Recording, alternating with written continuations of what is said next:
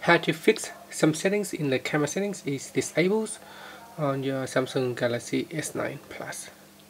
Now let's go back to your home screen by tapping on the home key and launch the camera app. And here when you tap on the settings icon you can see certain settings is disabled so if you try to uh, change it it will not um, become enabled uh, the same as motion photo down here so the reason why it is disabled is because you are in a different mode. At the moment it is in a food mode. So in food mode uh, some items is disabled such as timer because it makes no sense um, to um, be able to set a timer on a food mode and as well as HDR or the tracking autofocus or even motion photos.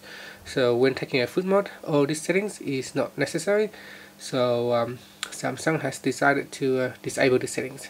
So if you want to use these settings, make sure you go back to other mode such as auto. And once you go back in here, you can see oh these uh, settings will become enabled again. And that's it.